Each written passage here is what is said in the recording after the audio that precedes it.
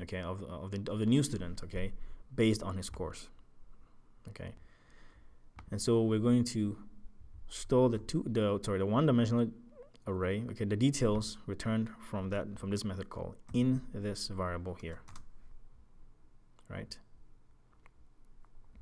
And so new student test score details is a one-dimensional array that's going to store two items. We know this method call here returns the lowest score, okay, of this student's you know test scores, of, the, of this particular student's test score, and then it's going to also return the new student uh, score average, right? The average is going to return the lowest score and the new student test score average. We'll have it stored here in new student test scores. So if we have the lowest score and we have, if you have the new average, then let's recalculate the new letter grade because this student letter grade was the previous um, letter grade was this letter grade here without the, the, without the lowest score dropped. So I'm going to create another char variable here and I'm going to call it new student letter grade. And so new student letter grade is going to hold the new the new letter grade. And so the, the way we calculate the, uh, the way we get the letter grade is from the method we have in this class, which is get student letter grade. It's in our class, so we need to refer refer to it using our object. So it's going to be class of 2018 dot get student letter grade, right? And we know that get student letter grade needs an average needs a, an average to, to get a letter grade. But we want the letter grade of the new um, of the new average. So we know that this new student test scores details will contain the lowest score and the new average. The lowest score will be stored in the very first index, and um, and then the, the new average will be stored in the second index. Okay, so we're going to get those values. I'm going to go ahead and create variables to store those values.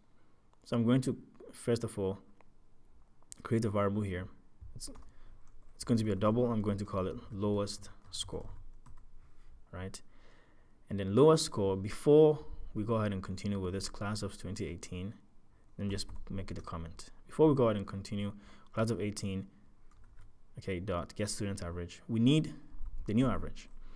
And the new average is stored in our new student test score details in the very, sorry, uh, so we need, a, it's true, we need a new average here, right? But then let's store the lowest score first. This contains the lowest score and the new average. So we created a new variable here called lowest score. And to get a lowest score, it's stored in the very first index or very first slot of this one-dimensional array. I'm going to refer to that slot using the index 0 because we store in index 0 here we store the lowest score. And so this is going to return the lowest score, and then we are going to store the lowest score in the variable that we just created here called lowest score.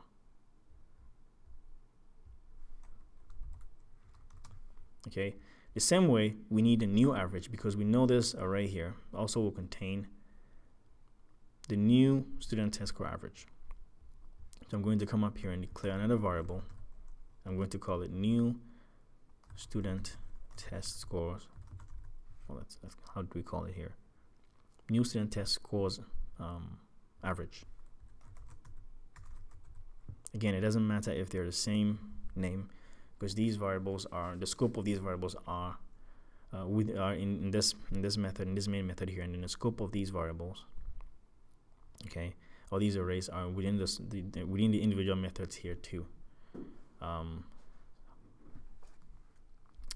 um, okay, sorry. So a friend of mine uh, just came in and wanted to talk to me. So I, um, sorry, I had to, I had to get up, and so um, I just cut that that part out, and I'm continuing now. So I think I was talking about the fact that this, uh, the the, sc the scope of these variables or these uh, arrays are within within this method, and uh, the scope of these variables are also within this method. So it doesn't matter if you're using the same names here.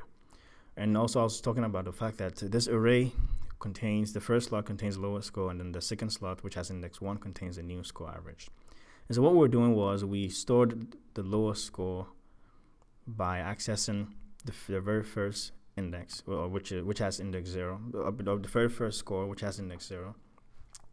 Uh, okay, so index zero stores the actually that's where the lowest score is stored. So we're accessing the lowest score okay, in the in, in index zero of this array here. And also we need to get the new student test score average because that's stored in index one of this uh, array here. So we, we're trying to create a variable, okay, called new student test scores average. And we are going to get that value, okay, from index one of this array. Okay, so new student test scores details in index one. Okay, what is stored there is our new student test scores average. We have a variable here that's going to receive it. And so I'm going to go ahead and paste it here. And so our new student test scores average variable that we have up here is going to receive is going to receive our uh, our new test scores average. So now we have all our details. We have our lower score, we have a new student test scores average. And before we get the new letter grade, so this, this is what I was talking about. We needed uh, the new student test scores average. We have it now. So I can uncomment this, okay? And then I, we can calculate our new, okay, uh, letter grade by referring to the object, calling this method here, which is get, get student letter grade, which is somewhere here. In our class, it's here somewhere. One second. Let me find it. Wait. Am I not? Am, am I blind? It's right here. Okay, so get student letter grade. I'm sorry, my, my friend came to call me and, and it, it kind of uh, threw me off. All right, so get student letter grade is a method. We are referring to the object here, class of 2018, calling a method, and we know that this method requires a student's average, right? But we want the letter grade of the new average, and so we're going to pass in the new student test score average into this method. And we know this method here is going to return the student letter grade. Okay, it's going to return our new student letter grade. So we need another variable that's going to score that new student letter grade. So that's going to, be, well, we actually created that. I forgot about that because my friend came to call me. So this is the variable, char's new student letter grade that is going to store our new student letter grade because we know this method call over here, this get student letter grade here, without with passing in the new average will give us the new student letter grade here. All right, so the beautiful thing is now we have our lowest score all in this method. We have the lowest score, we have the new student test scores average, we have the new student letter grade. And all we have to do is just add it to the message to display to the user. All right, we didn't we didn't change anything previously, so we still have access to this information we just have new information. We have the lowest score, new average, and new letter grade. And so let's just play, play around with our string and make this string more nice. I just want to add another line below it and say that, okay, um, dropping K's lowest score of, let's say, 56 for this example, gives us a new average of this, right? And then letter grade this. And so let's let's do that. So this is where it says letter grade and then the letter grade. I'm going to continue the string by concatenating a string to it and say, um, let's put, put the full stop. Um, I want to break this on the next line, so I'm going to break, break it from the plus sign here. So full stop, um, but then I also want to create a new line character. Okay, I'm going to break this line to the next line. The way I do that is with a backslash n. Backslash n is a new line character. So when the compiler sees this, it's going to move the position from where it's at, from the end of this line, okay, to the next line. And anything that comes after this backslash n, which is the new line character, okay, together is the new line character. Anything that comes after that is going to be displayed from the next line going. All right, so let's say dropping. I want to refer to the name, okay, of the of this particular um, uh, student, okay. So dropping, let's concatenate it with, we know the names are stored in the um, array list over here. The student names array array list. We created a method to get a name based on a, based on the index of, of where the name is stored in that array list. And so that array was called, I believe, get student name, which is here, get student name. And so we're referring to the object just like we, we, we did over here. Just like we actually we got this name here. We, we, we used we use this. Class of 2018 dot get student name. And we access the, the particular student okay by by the index. So dropping this student let's concatenate it with a string. I'm going to put an apostrophe s. So if it's k it's going to say dropping case, okay it's going to make it look a bit more dynamic or if it's john it's going to say dropping john's right so dropping uh, let's say assuming the name is case, so dropping case lowest score off now we need to access the lowest score. So I'm going to concatenate it. I know I'm going to exceed, you know, the lines. I'm going to break it already. All right, so let's organize it a little bit. Let's have a string here. All right, so dropping k's lowest score off. Uh, actually, we need a score. And so the way we get the score is from this variable. That's the beautiful thing. We already have it. So dropping k's lowest score off, lowest score. Okay, and let's continue with a string. Say I'm going to say gifts okay we want to access the name again so gifts k right by so we access the name with this okay let's continue the string